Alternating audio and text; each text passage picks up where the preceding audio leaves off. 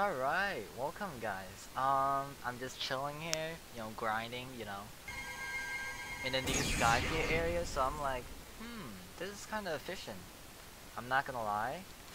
You know, since I do have low gear, but pretty sure you don't need low gear to do this, but it's probably better if you do, since like that, those AoE works pretty well.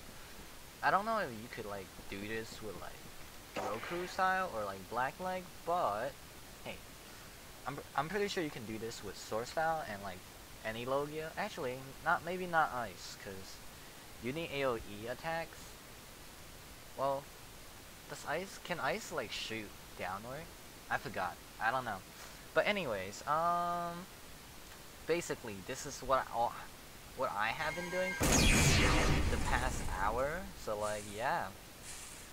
I mean, like, if you use a sword, you could use, like, a rifle to, like, aggro them, then you could, like, use your E on them.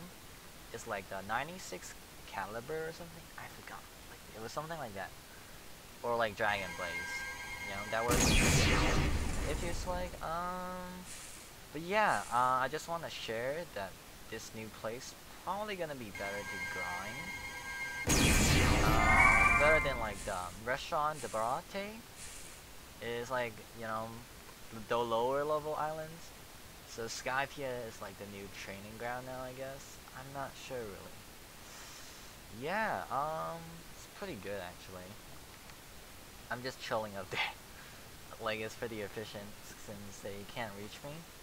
But if you have like Roku or Blackleg, I guess you're like outside here, like killing them one by one. I would say probably right.